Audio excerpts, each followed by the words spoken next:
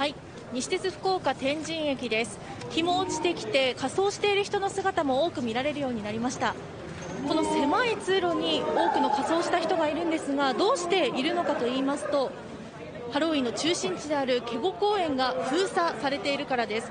ご覧のように緑の柵で囲われています。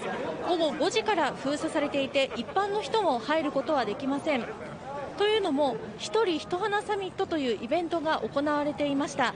花を荒らされないようにそして片付け作業もあるということで封鎖しているということです。また福岡県警はハロウィンに合わせて警備本部を設置しています。機動隊や DJ ポリスを派遣するなどして警戒に当たっています。またソウルの群衆事故を受けて警察庁から事故防止の指示があり特に階段や狭い道路を警戒するということです。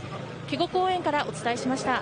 本田さん時間を追うことによってやっぱり人の数というのはかなり増えているなという印象ですか？そうですね。学校が終わった後に仮装してこちらの警護公園に集まってきているという人もいますし仕事終わりという方もいました